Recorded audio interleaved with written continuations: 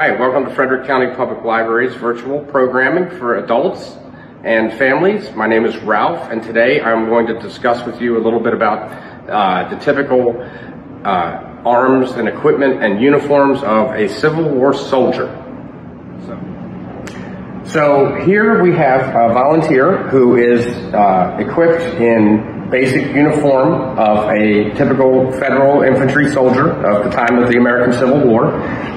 They were issued a hat, which is called a kepi. It's a French word, um, and it's not terribly functional, but it was, as you can see, it's got a little extra room in the top, uh, so it so it slants forward, and it is um, it's it is uh, the model uh, that the military chose at that time period. Uh, on here we have this is an eight-button frock coat, which would of course be buttoned up when worn. Uh, we're having it open so you can see. Uh, the blue piping stands for infantry. If it was red, it would mean they served in the artillery, and if it was yellow, it would mean they served in the cavalry. So that was a help, a distinctive um, piping to indicate which branch of the service you were in.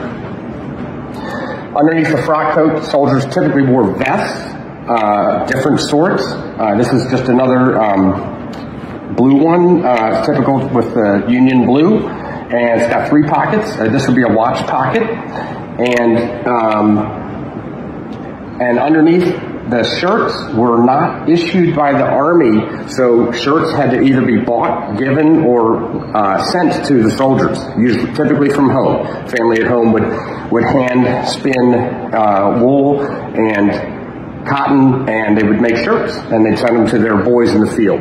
And then down here we have uh, issue sky blue wool trousers held in place by suspenders or braces as they were called. They go up over the shoulder and connect in the back. And what we have here are a pair of uh, Army issued brogans or boots. Uh, they were modeled after what was called the Jefferson pattern bootie. It's an ankle length boot, you can see. And oftentimes soldiers would have heel plates nailed into their heel it's just a, it's like a little miniature horseshoe, and it would be nailed into their heel to help prolong the life of the boot. Uh, these would often fall off, and they make slippery walking in wet conditions, uh, but it did help the shoe, the boot, have longer lifespan. And they were issued in lefts and rights, which was uh, something relatively new at the time of the Civil War.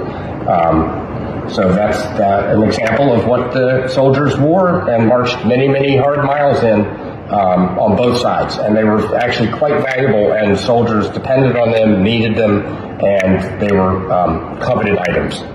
So this is a uh, typical uh, backpack or knapsack uh, issued to soldiers. It's basically um, tarred canvas to make it water resistant. I wouldn't say it's waterproof. And this is what it looks like from the, the outward facing side. And this is what the soldier had against his back. And this strap would go here, and and off you go marching to wherever it was they sent you. So let's see what's inside.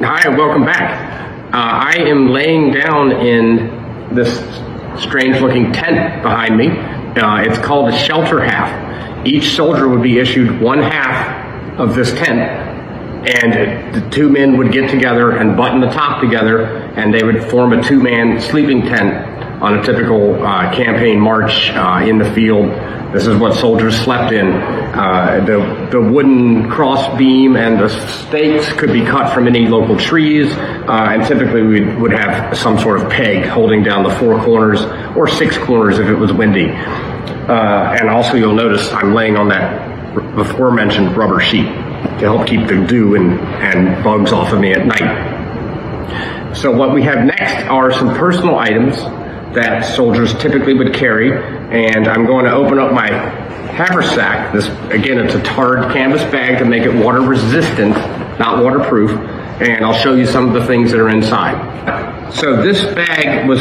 issued for the soldiers' rations. Uh, in, on a typical campaign, uh, a soldier would be issued three days of rations, uh, consisting of things like coffee, coffee beans, tied up in a sack. Uh, they would be issued uh, dehydrated beans, dry beans that they could reconstitute. They'd be issued maybe some dried peas for uh, to keep to keep them fresh. And what Civil War soldier wouldn't be at home without hardtack? Hardtack is a, a basic uh, long shelf life bread, the army bread, and I have a box that I'll show you in a minute that the typical um, that units were issued. Uh, it's simply flour, water, and salt with some holes poked in it and baked until hard, as you can hear. And they ate a lot of hardtack. Uh, they they would recommend. Looks like I got an extra ration. They would recommend soaking these in coffee or water or boiling them uh, in whatever you might be cooking around a campfire to help soften them up. Sometimes the soldiers would take the butts of their muskets and smash them and crush them into crumbles and throw them in with um, bacon or anything else they had um, found from the countryside, which was called foraging. The soldiers would go foraging, meaning they'd visit neighborhood farms, towns, and they would procure food that way, um, not always by the farmer's choice. Basically, they found food where they could and they took it. And that's what that's often how the army ate because the rations, as you can see, were not that great. I also have a little bag of rice just to round out that healthy Civil War diet. Uh, typical cutlery they might carry. Uh, you'll note these knives don't have points on them because they would tend to poke through the material of the haversack. And so they had rounded edges to keep from damaging their, um, their bag. And just a fork and more coffee. This is an example of an army bread box. I showed you the hardtack earlier. Uh, the army bread was produced in cities uh, throughout the, the country. Uh, this one is marked uh, army bread from the Union Mechanical Baking Company in Baltimore, Maryland. And the hardtack would be stacked up inside of these boxes and shipped via train or wagon to troops in the field. And that's how soldiers would receive one of the staples of army life, which is hardtack.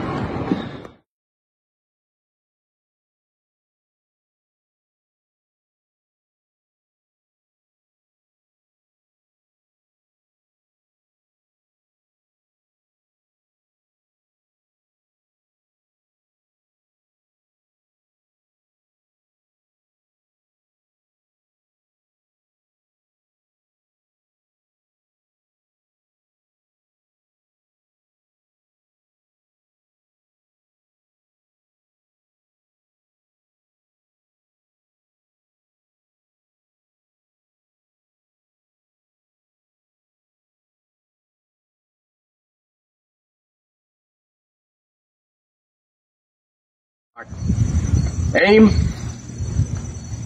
Fire.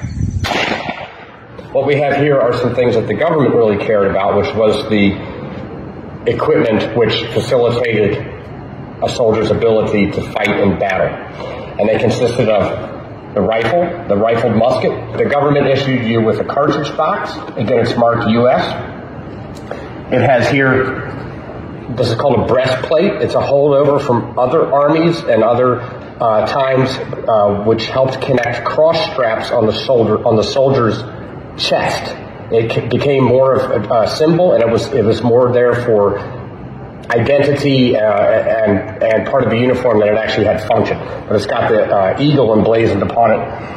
And inside the cartridge box, which is connected with this flap here, is where your ammunition was kept. Normally, uh, when they first, when the four first started, there were two tin inserts that went in here. Each side, each tin carried approximately 20 rounds of ammunition. The tins were cumbersome and were quickly discarded by soldiers, and they kept cartridges loose in this box. This box has a double flap to help keep water out, and the actual box plate does form a purpose in that it helps give some weight to this flap. So if a soldier is moving quickly, running through a field, the flap's not opening up and his cartridges are spilling out all over the ground. Inside here, a soldier would carry cartridges. This one's partially disassembled, so you can see what it is. It would be a paper cartridge filled with black powder. This is just sand. And it would have loaded a Minié ball a 58 caliber mid-lead ball that's conical in shape. Inside the cartridge box, the soldier would carry his cartridges. The lead ball would be inserted inside this paper tube, which would have black powder in the bottom of it, and that would be torn open with his teeth and poured down the barrel of this rifle. And I'm going to show that demonstration in the next piece. Around his waist, the soldier wore a, a belt Again, U.S. belt buckle, since we're talking about the Union Army here, or the Federals. This is called a cap box. It's got the manufacturer's stamp on the front. This cap box slips up, and again, it's got a double flap to help caps from flying out. And inside is a little brass cap, kind of shaped like Abe Lincoln's hat. It's filled with a drop of fulminate of mercury. When the cap is placed onto the rifle, it explodes, causing the cartridge to discharge out the end of the rifle, and I'm going to show you that in just a few minutes. Also, on his belt, soldier was issued a bayonet. So this is a long, pointy piece of metal that affixes to the end of the rifle and was used sometimes in combat, but not terribly often as the weapons and tactics of the time had changed to the point where bayonet charges, which were more common in, say, the American Revolutionary War, became a much less frequent occurrence as soldiers tended not to get that close to each other. Hi, this is the musket firing demonstration part of the program. The round I will be firing is not live, it's simply a blank round. So it's a nine step process to load and fire this Civil War era rifled musket. This one's a reproduction. It's approximately 40 years old.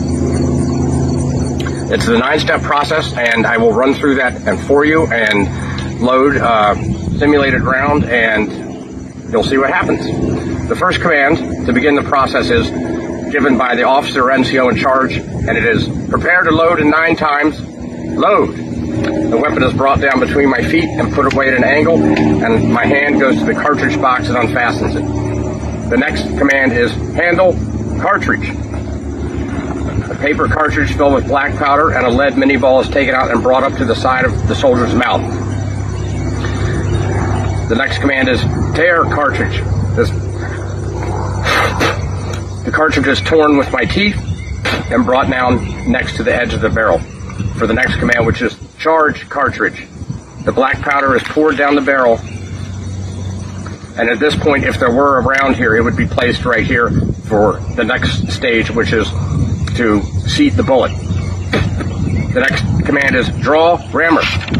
The ramrod is removed, turned over, so the cup end would fit on top of the, the round. The next command is ram cartridge.